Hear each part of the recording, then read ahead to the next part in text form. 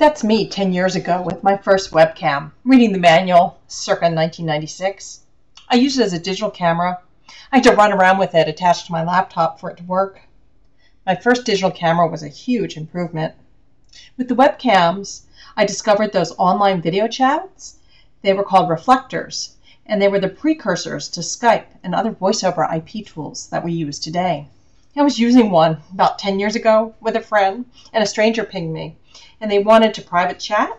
And I clicked on OK before I saw his nickname, which was uh, Full Moon. But it, that's not exactly what I saw when I opened the chat window. Well, anyway, I picked up a webcam recently because you can use it for screencasting. You can insert a real life video of yourself into the screen. See, that's what it looks like. Tacky, huh? So I figured I'd test it with Skype, and uh, Teresa Crawford offered to test it with me.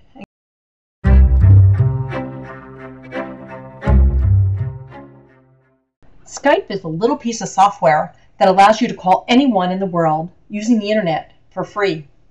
You can download the software for free too, and it's easy to install and easy to use. All you need is a computer, internet access, and a little microphone, and you can talk to anybody in the world. And if you have a webcam, you can see them. So once you install it, you have that little green icon on the bottom right, and that pops up your Skype window, and it kind of looks like any kind of instant messenger type tool, you have your contact list, and you just simply click on a contact. You hit that little green call button, and you call them. And that's what I did. I called Teresa, and she offered to help me. Right. Okay, Teresa, we're ready to go. Um, and now you know what happened? Is your um? Can you still hear me? Yep, I can still hear you. Okay, because now I can't see you. Okay. oh, that's weird. Okay, so click. Can you see where a button that says "Start My Video"? Uh, let's see. Yep. It's right near where it says call duration. Okay, there you go.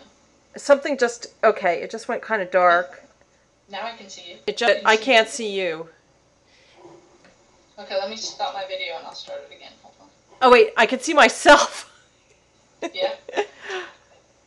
and now I see you. oh, this is so cool. can you hear me? Now you can. Yeah, I can hear you too. Okay, so basically I'm just clicking on that start my video yeah, button. Okay. Tell me, how are you using this? I use it, one, to chat with a friend of mine who was stationed in Baghdad. So he's in Iraq and we just chat when he's free. So that's a nice thing to do. I also use it a lot for secure communications. So I'm working on a project in a country where we don't want where it can't get out what we're working on, so we use Skype securely because of the security. What else am I using it for for video? Um, yeah, talking with my friends in Georgia for work and stuff, and talking with the guys in Bulgaria whenever we have website design stuff that we're working on. So, yeah, it's just nice when you haven't seen anybody in a while to see their face and what they're doing. so, do you think it like. does it offer more than chat? Do you think? I mean, do you think it's more effective? Is it worth it? Is it worth the hundred bucks for a camera? you know, my camera was like fifty. And I got the Logitech like middle of the road one. I didn't get the cheapest one or the most expensive one, and for personal relationships with people, I think it's absolutely better than chat. Not all the time because you don't you don't need it all the time. But yeah, I have this the, the relationship with Caledon in Bulgaria.